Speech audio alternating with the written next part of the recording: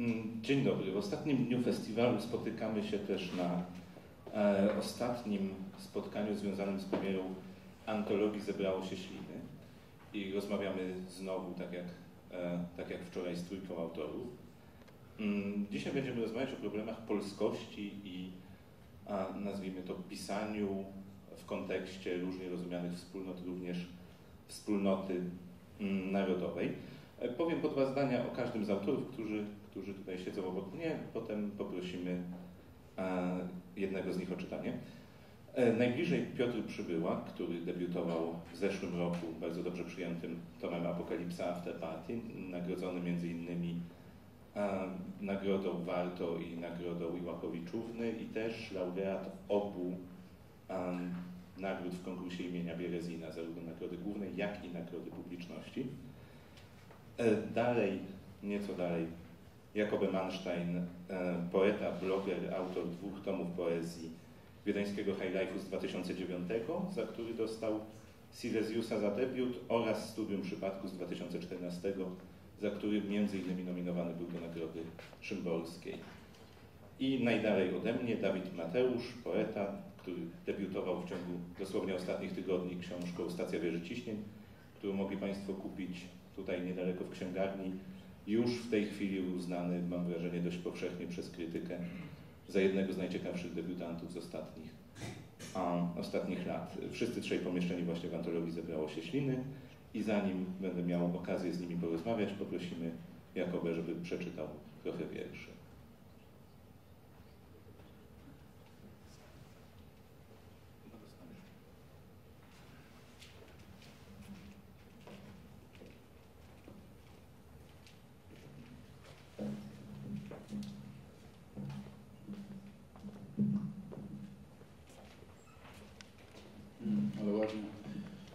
Dzień dobry Państwu.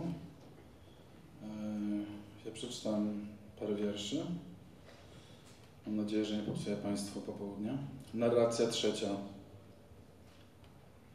Niebawem runą osiedlowe kioski i podrobsy będzie trzeba gnać do Tesco. Siwy czuje niewidzialną rękę rynku i stopniowy upadek mniejszych form. Takim jak my pluje się na głowę, albowiem należymy do mniejszych form. Wiedeński High Life Siedzimy przed kioskiem i wsuwamy dropsy, wiatr owiewa nasze twarze, jakby całował na do widzenia. Do widzenia i dobranoc. Niebawem runą osiedlowe kioski, przemieniara dropsów, wiedeński highlight szlak trafi. Podział na kwestie stanie się nieostry, jeśli twierdzi, że to nawet dobrze. Najwyższy czas zacząć działać jako bohater zbiorowy, bo liczba mnoga jest bezpieczna. Bezpieczeństwo w tej sytuacji będzie kluczowe.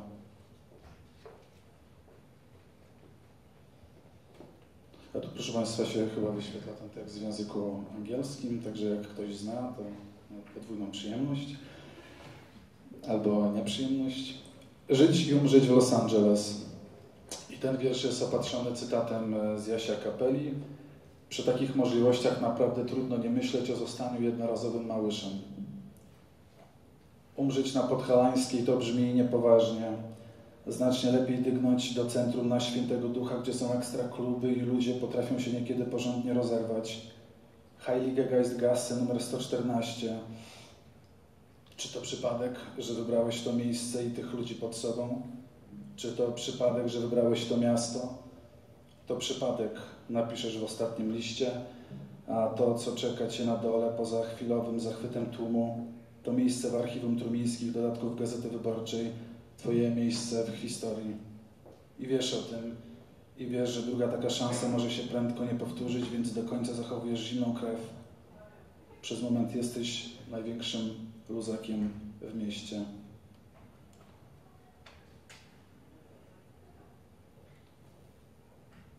Wiersz programowy. Odkąd zamknęli księgarnię i otworzyli nową cukiernię, żaden ekler nie przechodzi mi przez gardło moja dziewczyna, która odeszła na dobre 14 miesięcy i 6 dni temu, nie twierdzi, że można z tym wygrać, ale że można się zgodzić z całym tym dymem kręcą faszyści, których głównie obchodzi szerokim łukiem. Takich mają prawników. Tymczasem przebrała się miarka. Należy odstawić miękkie narkotyki trzeźwym wyjść na miasto. Zdjęcie Jana Palacha w portfelu niech będzie drogowskazem. W chwili słabości zatęsknić za dziewczyną, zatęsknić boleśnie, lecz iść na pełnej kursywie, nieprzerwanie iść, licząc, że wystarczy miejsca na jeszcze jeden wielki gest. Narracja piąta.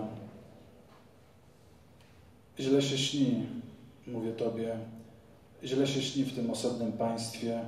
Jeśli wypowiada jeszcze trochę i nic nie zostanie, nawet strzeżone ukradną, wraz z parkingami zniknie stróżówka i stróż, stróż straci duszę w tym osobnym państwie.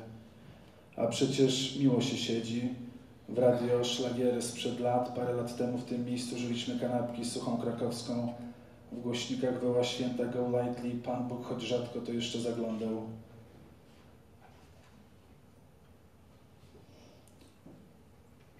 Poetę nachodzą wątpliwości.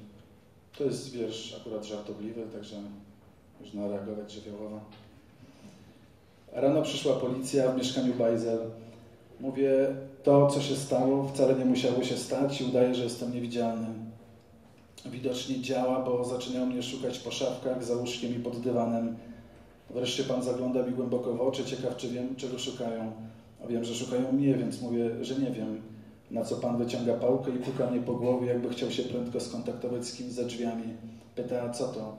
Odpowiadam, że to krew. Pyta, co to? I pokazuje coś, czego nie widzę, albowiem oczy istotnie zalane mam krwią. Mówi, że to pokątne wyznania miłości własnej, że mam przesrane. Mam przesrane, bo mam bajzel, odpowiadam, a słowa więzną w gardle jak kamienie, że trudno coś wykrztusić, choćby piasek. To poważna metafora, mówi Pan, i pakują mnie w auto. Teraz wszyscy jesteśmy niewidzialni. Scena w dużym pokoju. Trudno powiedzieć, jak to się skończy. Tyle wiadomo na razie. Dorosły mężczyzna siedzi naprzeciw dorosłego nagle dziecka i mówią niewiele, właściwie nie mówią. Przed chwilą obaj przeżyli tragedię.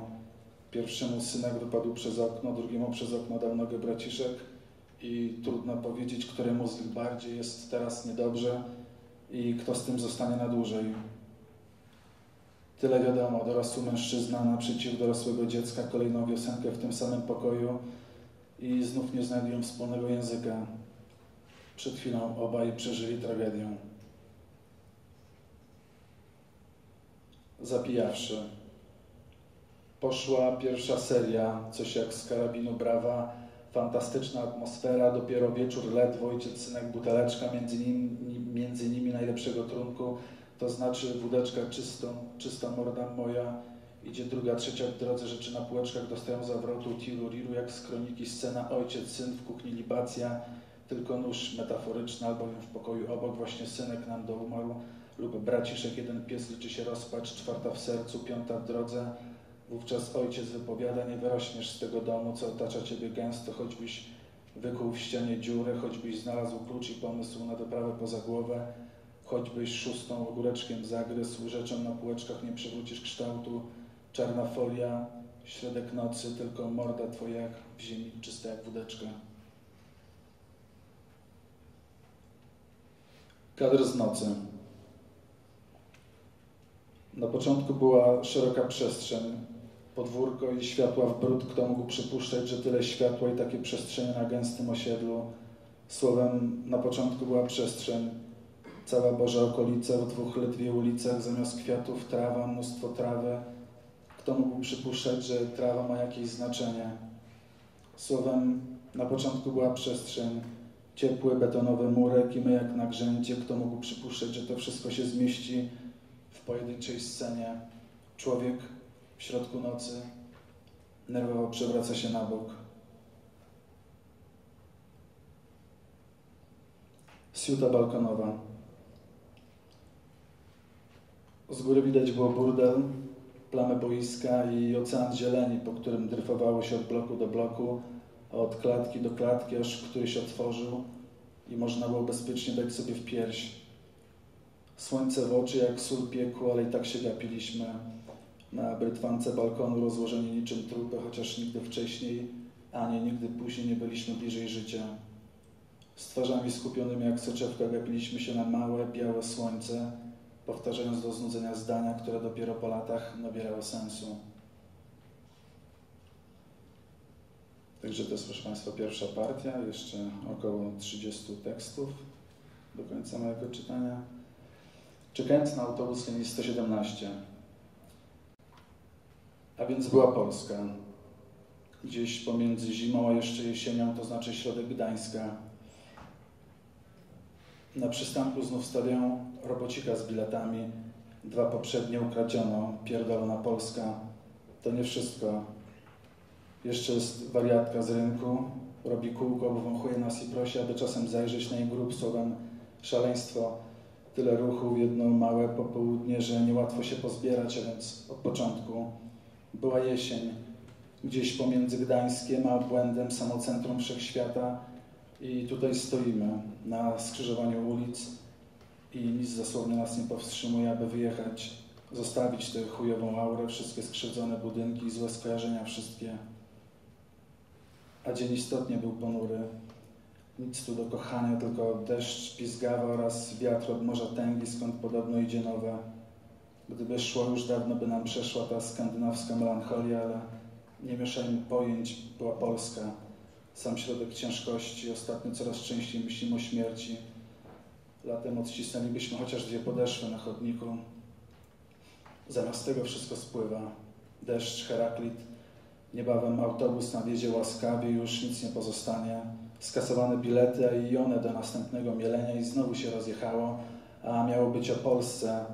To najwidoczniej nie jest wiersz, który zachwyci krytyków, choć może przynajmniej obudzi sumienie. Ciebie już obudził, mówisz, zimno w stopy, tobie też? Nie odpowiadam. Nabieram pewności, jestem prawie pewien, że od jutra sezon grzewczy, a więc wciąż czekamy na autobus, który nie nadjeżdża. Uwikłanie w skrzyżowanie ulic w Gdański Polskę z tego wiersza i to jest teraz nasza tożsamość. Dwa anonimowe ciała uwikłane w serię przypadkowych zdarzeń, z których nie wyplączą się już, już nigdy, z których nie wyplącze nas słoneczka, ani nawet magnes, ale nie mieszajmy pojęć.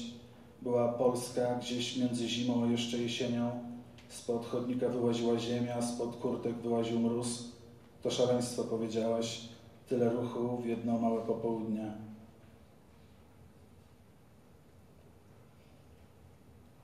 I ostatni.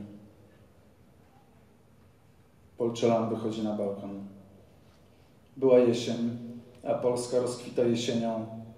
Przy takich kolorach trudno nie pomyśleć, jaka piękna jest przyroda, gdy umiera. Jaka szkoda, że nie można tego również powiedzieć o ludziach. Z drugiej strony rychło byśmy się pochorowali, pożegali wszyscy w domu od nadmiaru piękna, a nie o to w życiu idzie, aby na czworakach iść przez życie, ale o to, aby wyjść nieraz na balkon i zajęknąć szeptem z bólu. Popatrz, Matulu, jakie piękne te jesieni są kolory, jakie są obrzydliwie piękne. Dziękuję bardzo.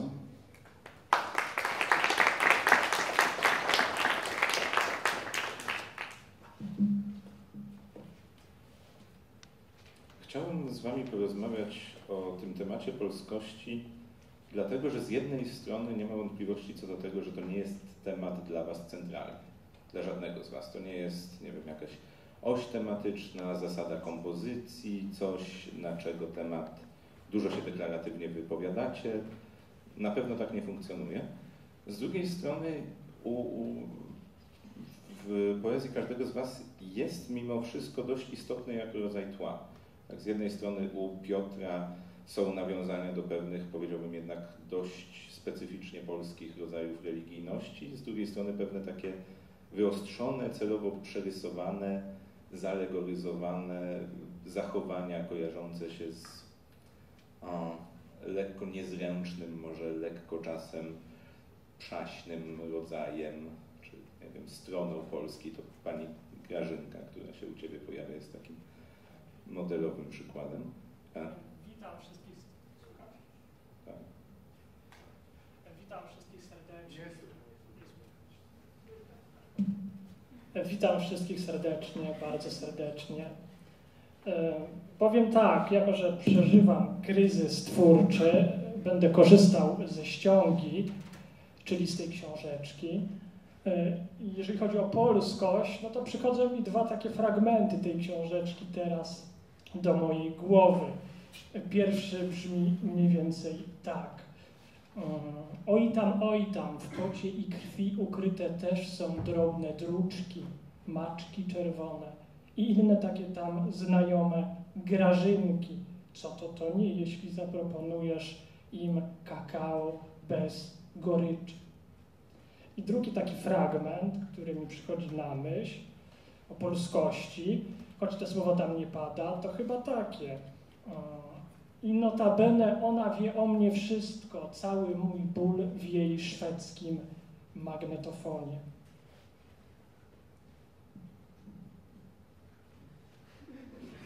Ja, ja, będę, ja będę kontynuował, zanim dam Wam mówić, ok? Żeby, żeby nie było, że tylko w wypadku y, Piotra zaproponowałem jakiś trop interpretacyjny, żeby, żeby jeszcze trochę wyjaśnić.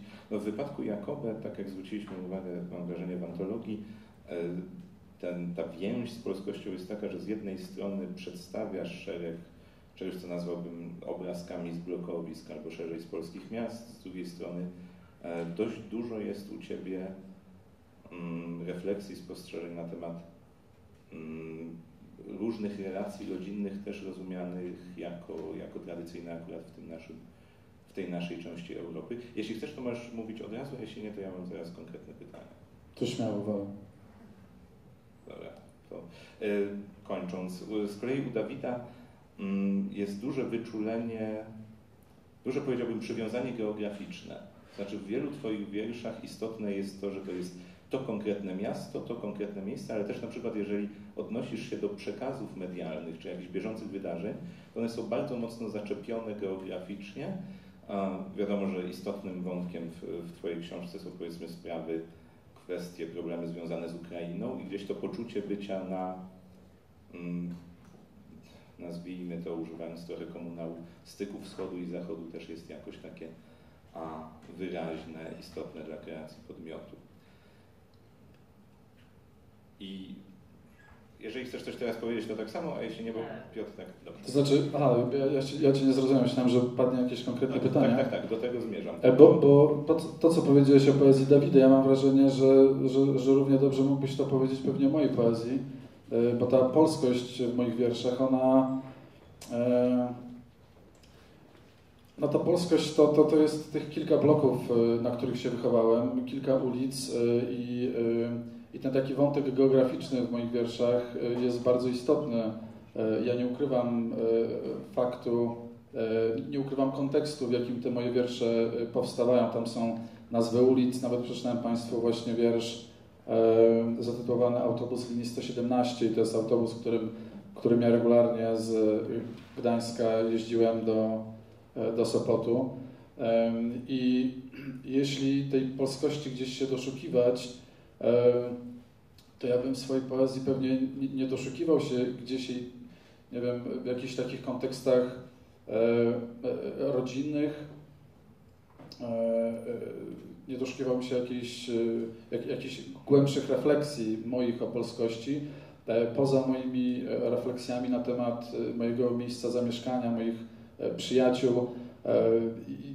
Być może wyprzedzając Twoje pytanie, kiedy ktoś mnie pyta, co to znaczy być Polakiem, to, to ja, to ja nie, nie, wiem, co odpowiedzieć, bo ja wiem, e, co to jest być gdańszczaninem e, mieszkającym e, na tej ulicy, w tym bloku z tymi ludźmi. Także, także, także to jest polskość, taka, taka mikropolskość, powiedziałbym.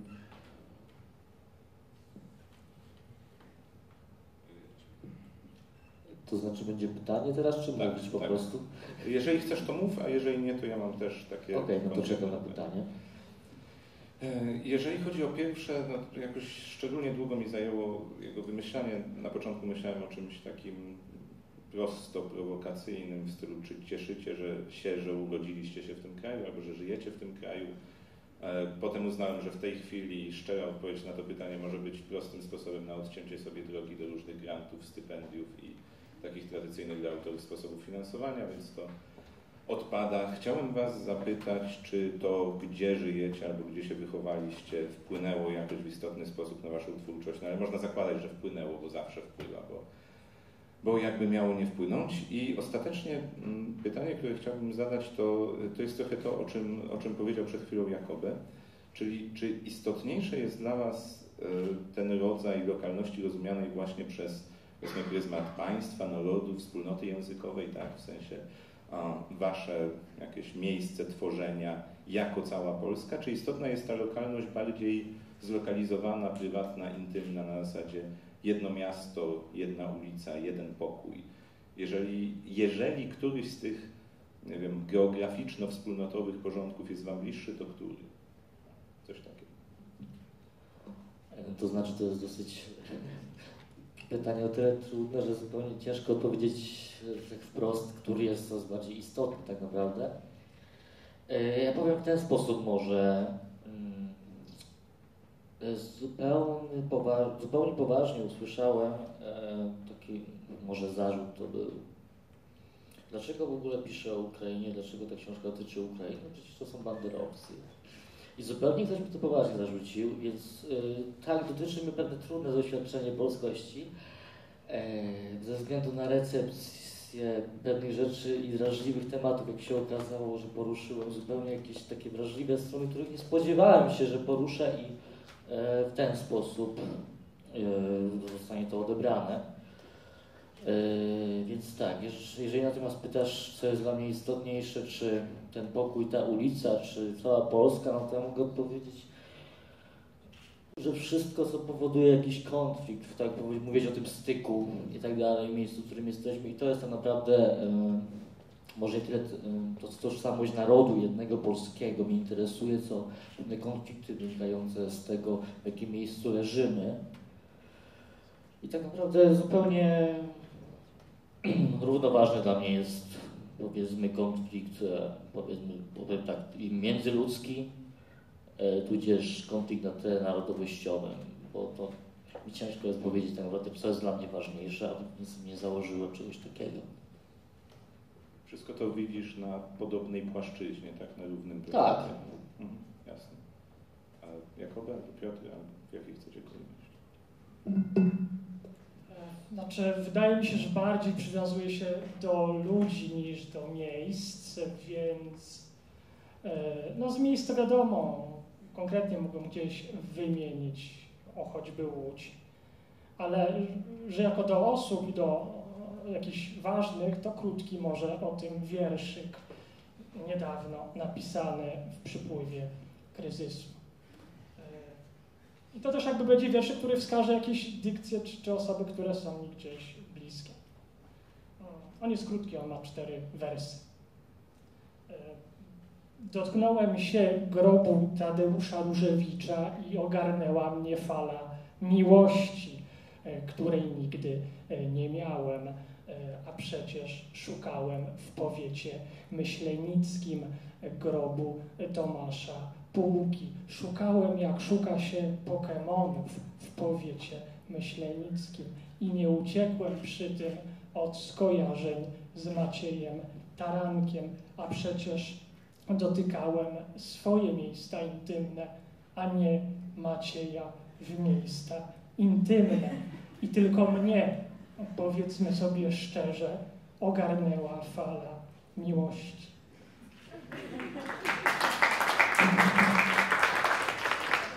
Ale muszę od razu, Piotrze, Ci zadać jedno mm, pytanie w kontekście... Nie mam drugiego wiersza. No to trudno, to odpowiesz tym razem bez wiersza, y, bardzo konkretne. Czy mm, skoro mówisz, że przywiązujesz się bardziej do, do ludzi niż do miejsc i jednocześnie zawsze wśród jakoś najistotniejszych y, inspiracji dla siebie wymieniasz Dyckiego, czy Nadyckiego, to czy widzisz go w podobny sposób? Też uważasz, że u niego y, bardziej te rodziny niż te miejsca, tak bardziej ludzie niż geografia? Po jego najnowszym tomie to już nie wiem, co myśleć. E, I może po prostu niech tak zostanie. Okay. Jakoby? E, a jakie było pytanie, bo już się trochę się dużo wydarzyło. W zasadzie odpowiedziałeś na nie trochę wcześniej, ale może mógłbyś powiedzieć coś, coś jeszcze więcej, czy bardziej ta duża wspólnota, ta, a, czy bardziej ta konkretna, trochę bardziej inna. No właśnie, wiesz, ta, ta, ta, duża wspólnota, trochę, trochę nigdy nie wiem, co to, co to znaczy. Yy, duża wspólnota. Yy, jak pytasz o jakieś przynależności do, do, do, do grup, o o moją tożsamość, to ja mam wrażenie, że, że wiesz, że moja, moja tożsamość jest takim trochę przypadkowym e, miksem miejsca, w którym się urodziłem, bo mogłem się równie dobrze urodzić w powiecie, e, myślę, jakim powiecie? Myślenickim. I wtedy moja tożsamość byłaby pewnie miksem, wiesz, osób, które poznałem i miejsc, w których byłem i, i nie wiem, i zapachu powietrza w powiecie myślenickim. I mam wrażenie, że, no, że taka jest moja poezja, że to jest trochę takie, wiesz, no, malutkie szkiełko. Ja nigdy nie myślałem w dużych kategoriach i kiedy używam nawet liczby mnogiej w moich wierszach i mówię, że my coś tam, to nigdy nigdy nie myślę my Polacy, czy my naród, tylko myślę my, ja i kilku moich kolegów. Eee, więc nie wiem, czy to odpowiada na Twoje pytania. Chyba tak. Jesteś. Ja, ja jestem zadowolony, mam nadzieję, że Państwo też. E, dobrze, słuchajcie, to może zanim przejdę do kolejnego, bo tam będziemy mieli taki mały tematyczny przeskok, to, to poproszę Dawida, żeby przeczytał. Nie wiem, czy Piotr nie chce pierwszy. A to nie było.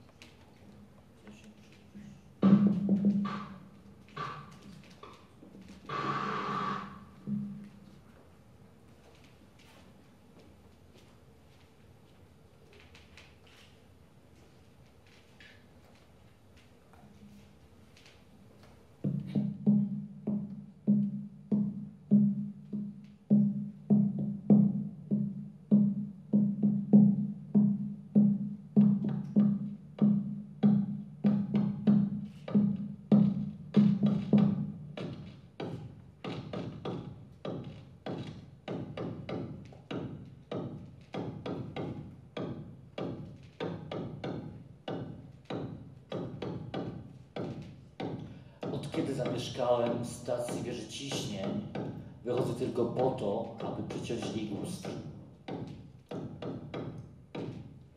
Dostaniesz po łapach, mówił ojciec, o mało nie uciąłeś palca.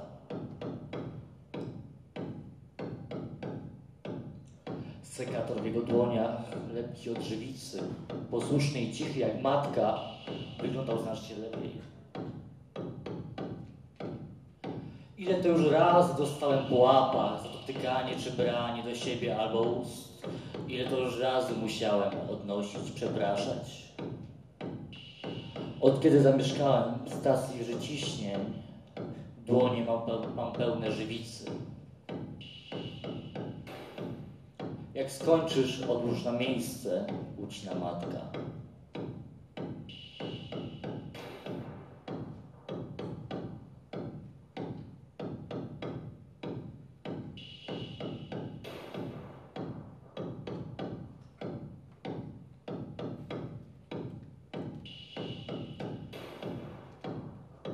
Widziałem, jak bezdomny na moście dębnickim rozkłada ręce w geście oranta, czekając na to, co macie ziścić.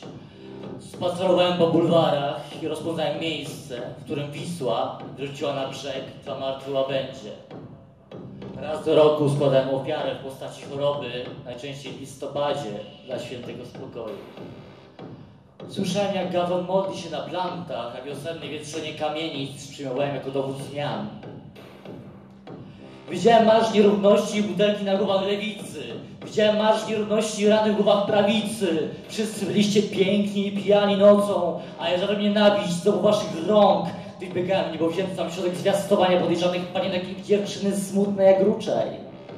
Wyjadać rybę, widelcem mi nożem, ani palcami, biegając na oślep. Pokazałeś mi, jak kochać i zdradzać, więc wiedziałem, jak kochać i zdradzać. Zjechałem sterylne mieszkania i smród ich świetników. Niosąc przez rzekę trupo idei, widziałem jak bezdomny na moście dębnickim rozkłada ręce w geście oranta, czekając na to, co ma się ziścić. I nadal patrzę, jak ta sama intensywna nieobecność dyktuje tętno.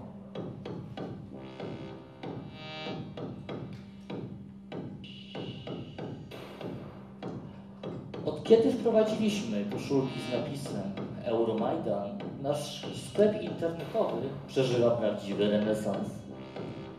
Dzięki odpowiedniemu zbiegowi okoliczności jesteśmy w stanie nie tylko się utrzymać, ale także rozszerzyć naszą działalność.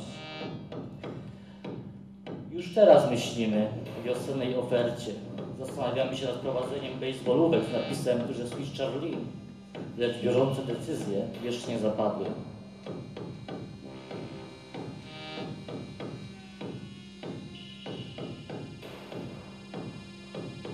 Transmisja z Kijowa przerywa reklama. Ludzie często zadają pytanie, dlaczego kobiety, które mają naturalnie proste włosy, chcą nosić loki. Kosmyk na kraju ucha pozwól się zabawić.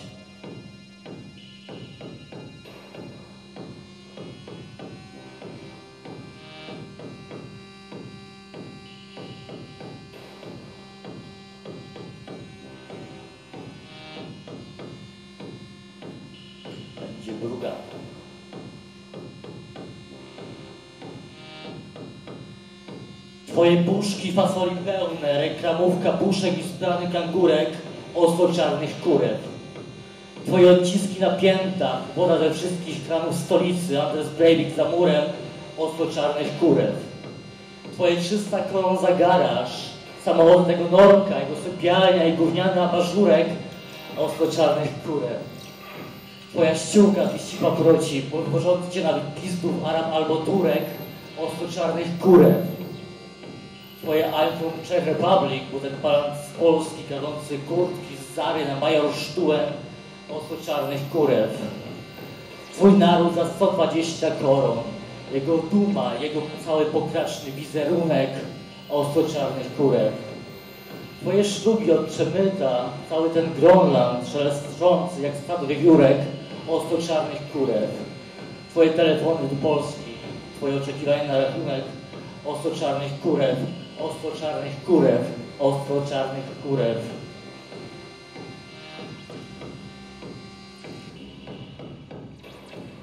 Strzałko.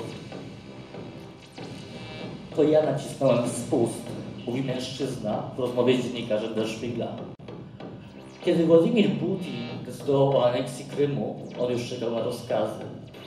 Charakterystyczne wąsy, zamiłowanie do starych mundurów i portret cara Mikołaja na ścianie sprawiły, że zyskał przydomek rosyjskiego Che. Dlaczego nie zniszczyliśmy ukraińskiej armii już we wrześniu? Jak długo będziemy to odwlekać? Kiedy decydowano o aneksji Krymu, on myślał już o Doniecku i Ługańsku. Marzę o Rosji naturalnych granicach, co najmniej tych z 1939 roku. Daje strzałko. Jak wielu mężczyzn w jego wieku jest miłośnikiem historii. Jak wielu mężczyzn w jego wieku jest miłośnikiem historii. Jak wielu mężczyzn w jego wieku jest miłośnikiem historii.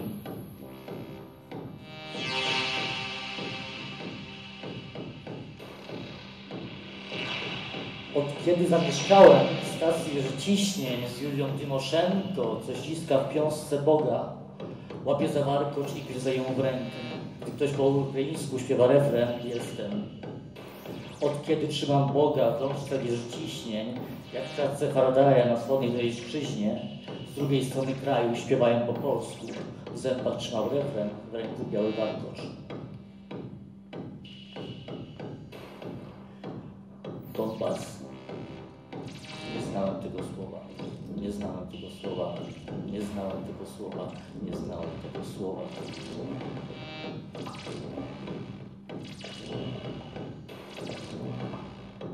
Polska.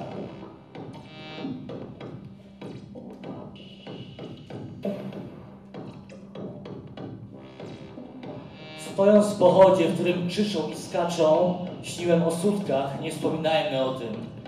Stojąc w pochodzie wchodzących do wody, mokrego snickersa popijałem blekiem. Chłodząc kosteczki w brudzie jeziora, zepsutym długopisem szkicowałem hasła. Moknąc pod wodą w rybim pochodzie, myślałem o pracy i dowódce dla kraju. Na moment przed wojną z innym pochodem sprawia mnie raz jak ciepły uśmiech coacha. Łykając wodę obcego pochodu, krzyczą i skaczą, trzymam pustą garstkę.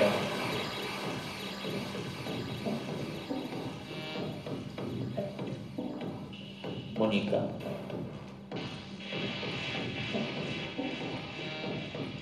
Oglądając spacyfikację Majdanu za pośrednictwem serwisu YouTube, próbowałem ukończyć stację wieży ciśnień.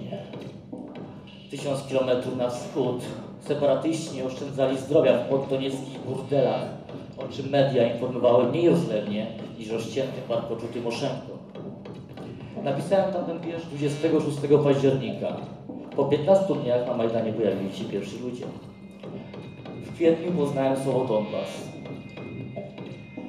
Oglądałem pacyfikację Majdanu za pośrednictwem serwisu YouTube, próbując jej o tym opowiedzieć.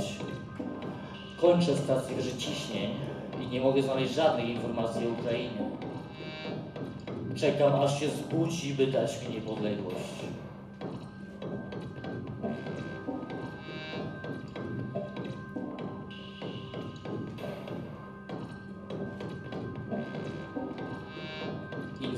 Wydawniczy.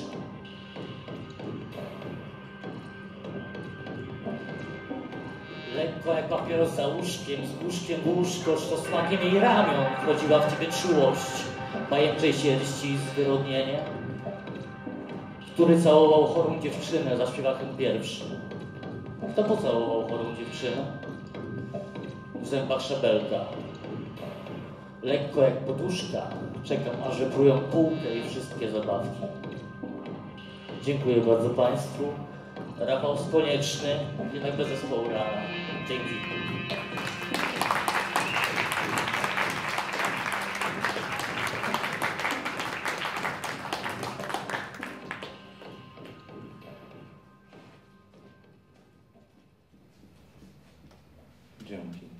E, Obiecana mała zmiana, tematu z takim bardzo krótkim historycznym wstępem.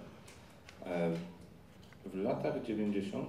w krytyce poezji stało się coś takiego, że za typowo poetycki gest w kwestiach wspólnoty zaczęto uważać raczej um, może niekoniecznie odżegnywanie się od niej, ale zdolność wyłączania się z niej.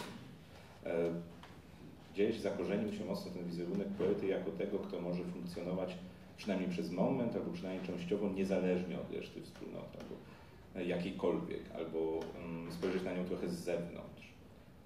Poetyckie jest bardziej mówienie o tym, dlaczego się nie przynależy, niż mówienie o tym, dlaczego się przynależy. Kwestia przynależności została wpisana, wpisana w taką opozycję i e, to, co chciałem Was zapytać, to w sumie jak w ogóle jest z przynależnością poetów? To znaczy, czy faktycznie jest tak, że czujecie, że przez to, że piszecie wiersze, wasz status względem różnych wspólnot jest jakiś szczególny? Czy faktycznie jest tak, że wyłączanie się z nich jest wam bliższe niż deklarowanie tego, że do nich należycie? I komplementarne wobec tego pytanie, e, czy w ogóle uważacie, że istnieje coś takiego jak wspólnota ludzi piszących wiersze albo czytających wiersze? Jaki jest wasz e, stosunek, nie wiem, do środowiska jako czegoś więcej niż powiedzmy grupa znajomych. O. To pierwsze.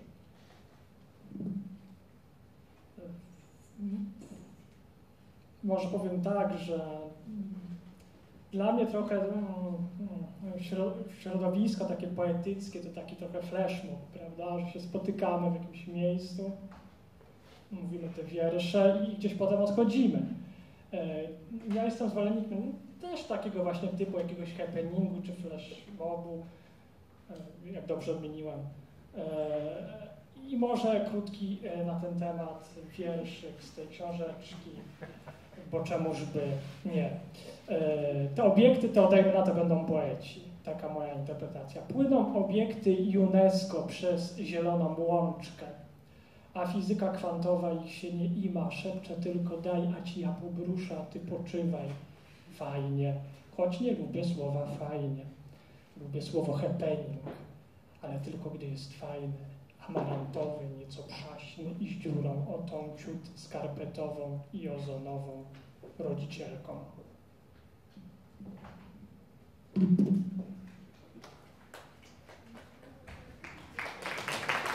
Brawo. E, to znaczy tak, no ja nie przeczytam, już przeczytałem, już więcej nie będę, ale w każdym razie tak, no ja czuję pewną wspólnotę z ludźmi piszącymi wiersze. E, tak, na przykład z ludźmi lubiącymi żółt zupę pieczarkową, bo lubię zupę pieczarkową, lubiącymi gotować, bo lubię gotować. E, więc tak, tak, jest y, moim zdaniem e, pewną wartością to, e, jeżeli to, że część osób, nie wszyscy może rozumieją, że powinniśmy się jednak jako środowisko działające w takiej, a nie innej niszowej dziedzinie w jakiś sposób wspierać po prostu. Wiem, że na przykład bardzo ja negatywnie reaguję, jak się powiem, że ktoś ktoś kogoś w środowisku literackim dosyć ciasnym oszukał i e, na przykład finansowo e, i, i, bardzo, bardzo tego nie lubię, bo tak naprawdę wszyscy się o tym dowiadują i to jest moim zdaniem bardzo działanie bardzo na niekorzyść wizerunkową całego środowiska literackiego, już nie mówiąc o poszczególnych osobach.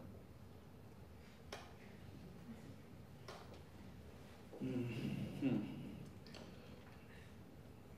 Ktoś cię na kasę zrobił ostatnio? Y, Robert Rybicki y, pożyczył się pieniędzy, ale później mi postawił piwo, więc ten oddał mi. Tak, tak, tak, tak, tak. Jesteśmy kwita. Nie, nie, nie, nie ostatnio nie zrobił na kasę, ale no, są różne przypadki. A ciebie? Będę ciągle robił na kasę, dlatego że jestem frajerem po prostu. E, jeśli chodzi o środowisko, no to jest. Yy, dla mnie to jest o tyle skomplikowane, że ja trochę y, nie jestem w środowisku, więc nie czuję łączności tej chłopaków. Dopiero pierwszy raz y, siedzimy razem, poznaliśmy się chwilę wcześniej. Piszę sobie w swoim małym gniazdku w Gdańsku i jeśli y, czuję jakąś, jakąś łączność i, i jakąś solidarność, to pewnie z takim wyobrażonym czytelnikiem w mojej głowie e, niż, niż, niż ze środowiskiem poetyckim. E, co mi się tutaj przy okazji e, narzuca, to to, że, że mam wrażenie, że, że, że środowisko poetyckie z racji tego, że poezja od, od, odkąd istnieje, to, to trochę jest w odwrocie i trochę umiera ciągle. Pamiętam, jak zaczynałem pisać wiersze, wszyscy mówili, że no, że poezja to jest umarła dziedzina sztuki. Ostatnio odpowiadam na pytanie w wywiadzie właśnie, pytanie sformułowane w ten sposób, czy nie sądzisz, że poezja to jest jakby martwa gałąź literatury i mam wrażenie, że, e, że, że odkąd poezja istnieje, to ona umiera jest w odwrocie ciągle. Ale jednocześnie jest jakaś grupka zdeterminowanych e, osób, które, które nie są w stanie ukoić swojej wrażliwości, grając na przykład w Call of Duty E, i im poezja jest potrzebna. I co o poetach e, samych, mam wrażenie, że to trochę takie jest użalanie się ciągle, że, e, że my jesteśmy tą grupą taką niedocenianą, że czyta się pisarzy, czyta się twardocha, a poetów się nie czyta i no i poeci, poeci są tacy pokrzywdzeni w tej sytuacji. Mam wrażenie, że to jakoś nie, nie robi dobrego wizerunku poetom. O, i tutaj kropka na przykład. Jeszcze tylko coś dodam, bo, bo akurat jest okazja, że tak naprawdę no nie byłoby mnie tutaj czy na innych festiwalach, na przykład bez Pawła. E, I też tutaj na widowni, choć was nie widzę i nie obejmuję was wzrokiem, ale są też osoby, które gdzieś, dzięki którym no, tu jestem, a nigdzie indziej. Choć nie obejmuję was wzrokiem, to obejmuję was ramionami.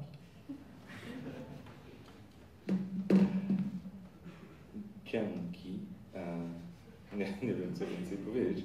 Natomiast wiemy, że, e, że Dawid i Jakobe e, odpowiedzieliście głównie na to drugie, to komplementarne pytanie o wspólnotę samych piszących. A zastanawiam się, co z tym pytaniem o w ogóle stosunek do wspólnotowości i ten taki, no dobrze, trochę stereotypowy, ale mimo wszystko istniejący wizerunek poety jako kogoś w szczególny sposób wolnego, tak? potrafiącego jakoś szczególnie zawiesić swoją przynależność, czy jakoś z niej wyjść. Nie, nie, zupełnie gdzieś tam się z, z tego typu podejściem nie zgadzam, nie wierzę. Znaczy się, wykluczenie, samo wykluczenie się z pewnej wspólnoty i tak dalej, wspólnotowości jest naprawdę może być gestem a też tak naprawdę politycznym i może być na, tylko na poziomie deklaracji, bo, e, bo to nie jest po prostu możliwe. Jesteśmy częścią wspólnoty, tak, y, wszyscy. Czy sobie z tego zdajemy sprawę, czy to zupełnie inna kwestia, e, czy sobie z tego zdajemy sprawę, e, ale po prostu jesteśmy. No, tyle właściwie tutaj nie więcej do dodania. Tak, no ja się zgadzam z Dawidem. No wiesz, ja, ja przede wszystkim jestem, wiesz, no, człowiekiem, który coś robi i jest siłą rzeczy częścią jakiejś wspólnoty i jakoś nie czuję, żebym lewitował nad, wiesz, wszystkimi innymi, czy widział na przykład więcej w związku z tym. Także, także, także ja się wyraźnie czuję uwikłany we, we wspólnotowość. Pytanie, no właśnie o jaką wspólnotowość zawsze chodzi, ale to mam wrażenie, że już o tym mówiłem wcześniej, także już nie będę do tego wracał. No ja tylko może tak krótko, że jednak jestem zwolennikiem jakiegoś takiego pisania z pustelni, może z pustelni nie tyle wiersza, co właśnie z jakiegoś takiego e, eremickiego, z jakiegoś takiego eremu, e, gdzie, gdzie, gdzie goście są oczywiście mile widziani.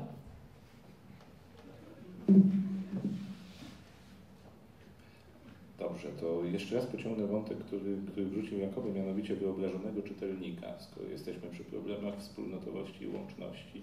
A pytanie byłoby z tych najprostszych, czy w ogóle macie kogoś takiego, a jeżeli tak, to nie wiem, w jakim jest wieku, jak ma na imię, jak się ubiera, co lubi jeść. No. Ma na imię Monika, ma 28 lat, jest moją narzeczoną. Nie, nie, nie jest wyobrażona. No to mój czytelnik byłby takim raczej czytelnikiem dynamicznym. Pamiętam, że jak pisałem taki w pierwszej książce, e, powołałem do życia postać Siwego. I Siwy to był trochę taki, to była taka hybryda takich moich dwóch albo trzech takich osiedlowych hersztów i kolesi, którzy byli starsi, którzy trochę nadawali rytm na podwórku. Ja sobie ich skompilowałem w jedną postać i pisząc ten wiersz zastanawiałem się, czy ten mój ci moi hersztowie z dzieciństwa, czy im by się ten wiersz spodobał. E, znowuż, kiedy mój przyjaciel e, popełnił samobójstwo i, i pisałem wiersz, mm, no pisałem wiersz o tym, jak on przetacza się przez parapet dziesiątego piętra i, i leci w dół, to zastanawiałem się, e, jak E, ten wiersz e, zadziałałby na jego rodziców. E, także, także ten czytelnik, on się, on, się, on się zmienia, to jest banalne, co teraz mówię, on się zmienia w zależności od tego, o czym pisze. I tak sobie po prostu mam mnóstwo wyobrażonych czytelników, bo mam mnóstwo tematów na wiersze. Tak. Czy ja mam kryzys twórczy teraz? Mam problem z wyobrażeniem sobie takiego czytelnika. E, natomiast e, mm, e, w jakiś sposób poprzez to, że to jest jednak jakaś kategoria prywatności, miesza się z kategorią zaangażowania, więc wydaje mi się, że jest to wąskie dosyć grono. Mam tak szacuję, że około gdzieś, nie wiem, 50 osób przeczytało tę książeczkę do setki, więc to są zazwyczaj krytycy i inni poeci, więc mm, tak jak u wszystkich praktycznie. więc, a, a mówiąc tak oględnie może krótkim fragmentem, wiersze z tej książeczki e, e, i zapominam o Was, a mowa o woreczkach jednorazowego użytku to znaczy o moich e, bliskich, którzy mi tego nigdy nie zapomną. No, to są chyba adresaci moi. Może tak, ja wiem, że to będzie trochę wbrew ustalonemu scenariuszowi spotkania, ale może poprosiłbym teraz Piotra o przeczytanie, a potem mimo wszystko zapytał, czy ktoś z Państwa na publiczności ma jakieś pytania do autorów. Myślę, że dwa albo trzy byśmy może zdążyli um, usłyszeć.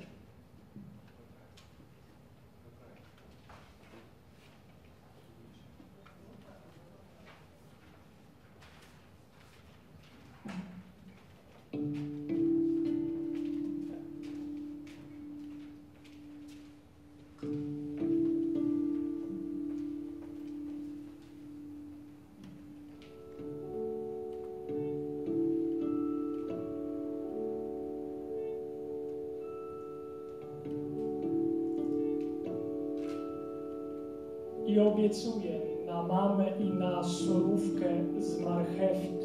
Nigdy nie powstanie już tutaj żaden plac zabaw, nawet z marmuru, nawet za cenę niezapomnianych i pięknych prawd o świecie typu Auć. W języku ludów pierwotnych, aha, to wrzątek.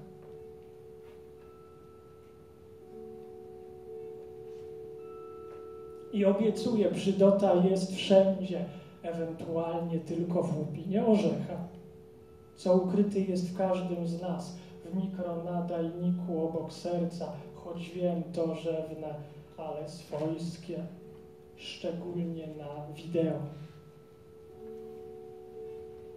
I obiecuję, nigdy nie wypowiem już słowa abażur, powtarzać za to będę w nieskończoność słowo bakłaża.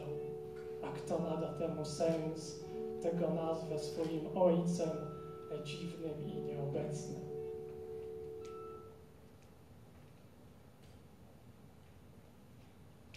No to teraz może trzy krótkie złote myśli. Pierwsza złota myśl. Jak ktoś nie czytał mojej książeczki, to będzie streszczenie całej książeczki.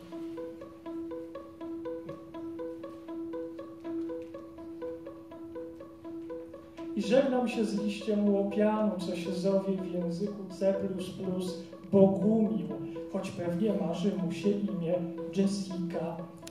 Ale zrozum, Jessica, nie można mieć wszystkiego. A co dopiero czerwonego swetra. Druga złota myśl. E, zaangażowana przepraszam, zaaranżowany.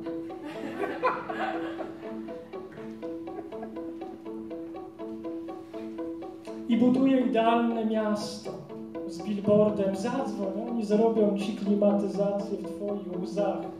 Z nikomu niepotrzebnym streetworkerem, którego ładnie proszę, hej, ładnie cię proszę, nazwij tę betoniarkę, gdzie halucynacje od tłuszczu, nawet jeśli wyjdzie z tego rebus, którego nie zrozumie ojczyzny. No i trzecia złota myśl, bardzo krótka złota myśl, chyba najważniejsza złota myśl. I wyruszam w ustę pocisku do Emans przez Wrocław, Opole, Katowice, choć mister DJ pochodzi z Giżycka, jak on to kwituje, Giżycko jest dla everyone. E, repeat, mamy repeat. Giżycko jest dla everyone. I teraz może e, wierszyk e, okolicznościowy spoza antologii, krótki wierszyk okolicznościowy. Um, jestem w stroju śląskim albo magnetowidem.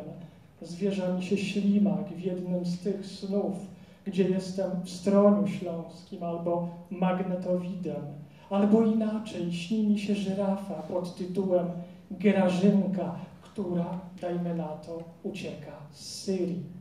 A jest wrzesień i dajmy na to, jestem w stroniu śląskim, bo czemuż by nie, albo magnetowidem takoż.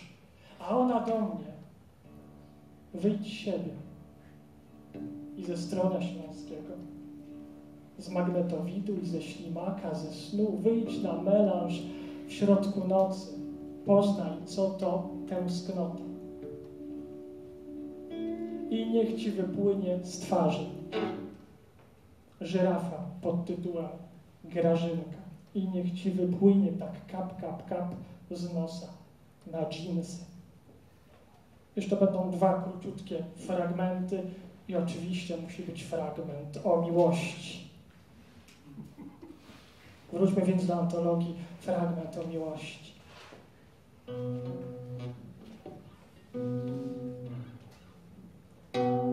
I przyznaję, często wyobrażam sobie, że jestem lodówką albo analogowym sygnałem o następującej treści pokarmowej Ibiza.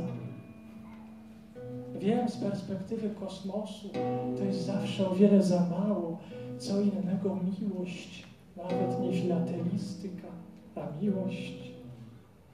Może zróbmy teraz e, minutę ciszy przed finałem.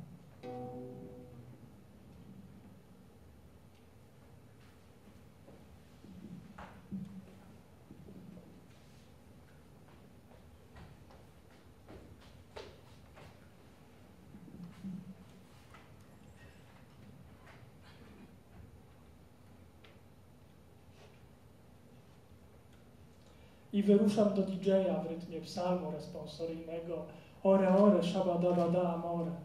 A moja skóra z poliestru jest jak zeszłoroczny śnieg, o którym maszynistki, e, aktualnie nienarodzone, e, powiedziałyby próżnia. E, fabryczna próżnia.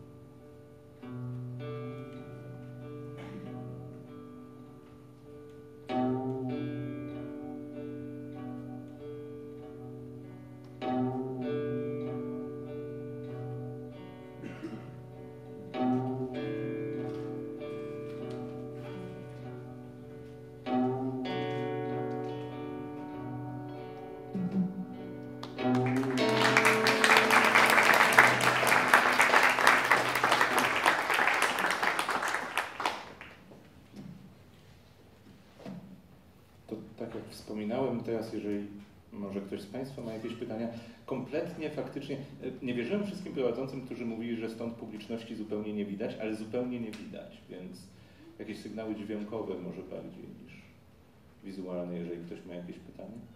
Panie Piotrze, 101 niech Pan mówi na następnym spotkaniu. 101. 101, tak.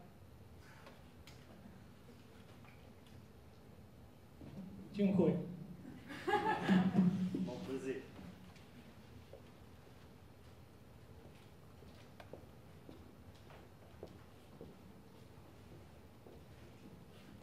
Znaczy to ja podpowiem może, y, ja widzę i niech się nie zgłasza. Najwyraźniej. To w takim razie jedno, może trochę drażliwe pytanie, może takie, na które nie będziecie chcieli odpowiadać, ale jedno pytanie na koniec ode mnie o y, kwestię religijności. I znów poza poezją Piotra religia nie jest z waszej trójki, czy w wypadku waszej trójki czymś, co to się jakoś często u Was eksplicytnie pojawia. To są raczej takie bardzo drobne elementy symboliczne. U Jakoby gest Oranta, który się pojawia kilkukrotnie w wierszach, które czytał um, Dawid, to są drobnostki. U, u, Piotra to jest może trochę bardziej tematycznie istotne.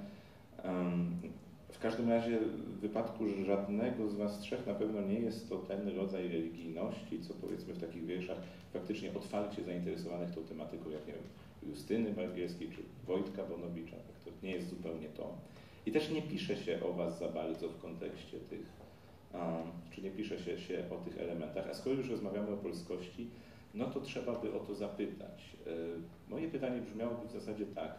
Czy w ogóle jest to dla Was istotny temat i czy wydaje Wam się, że można pisać dziś poezję po polsku, w ogóle kwestiami religii i Kościoła ani trochę się nie zajmując, tak? zupełnie nie zwracając na nie uwagi. Um, to może ja mam przygotowaną odpowiedź na to pytanie, bo słyszałem je wielokrotnie, więc to znaczy się, mm, powiedziałeś religia, religijność, a Kościół, więc tutaj wejdziemy w jakieś zupełnie inne rzeczy, to znaczy się mnie interesuje e, Bóg literacko, o tyle, że istnieje e, w głowach ludzi jako pewien konstrukt. I to jest dla mnie literacko interesujący bardzo temat, ten konstrukt, który został nam w pewien sposób wpojony e, jesteśmy na tyle zindoktrynowani, że mamy ten konstrukt Boga, zupełnie niezależnie czy ktoś wierzy, czy nie wierzy i tak dalej. Ten konstrukt Boga w głowie, konstrukt Boga w głowie jest. I to jest dla mnie teraz to ciekawe, po prostu.